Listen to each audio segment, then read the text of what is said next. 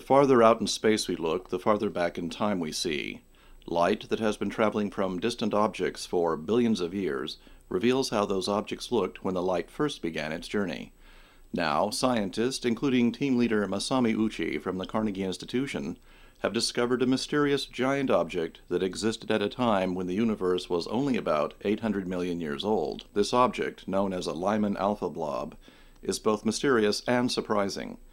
Mysterious because it is so far away that a variety of instruments has not yet been able to determine what it is. Surprising because it is larger than any other object so far away. Because this object was discovered as part of data collected at the Subaru telescope, which is operated by the National Astronomical Observatory of Japan, it has been named Himiko, after a legendary Japanese princess. Himiko exists right on the edge of what astronomers can currently see, the so-called reionization era of cosmic history. This anomaly almost caused Himiko to go unexamined, as Masami Ouchi explains. First, um, I found Himiko in a you know, large and bright source, you know, in, in our distant galaxy candidates. And, uh, you know, because a uh, distant galaxy is supposed to be a faint point source from Himiko, so uh, from Himiko's shape and brightness, I thought Himiko was a, an ordinary disk galaxy in the foreground uh, which contaminated our distant galaxy sample. Telescope time is rare and expensive, so if Himiko really was just a nearby ordinary galaxy instead of a distant object, there was no reason to examine it further.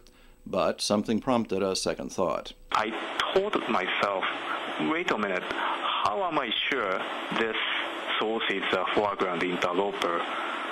Then I started carefully looking at Himiko's colors from the imaging data. The colors clearly presented two key signatures of a typical distant galaxy, a strong single emission line and a large spectral break.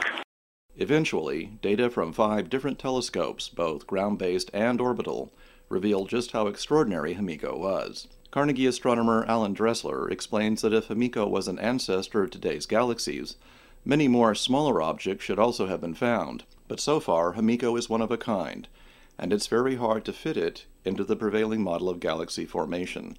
But of course, that's what makes it interesting. Masami Ouchi says that the next phase of research will be an attempt to use the Hubble Space Telescope to see what other objects can be found. The research will be published in the May 10, 2009 issue of the Astrophysical Journal. This is John Strom for the Carnegie Institution.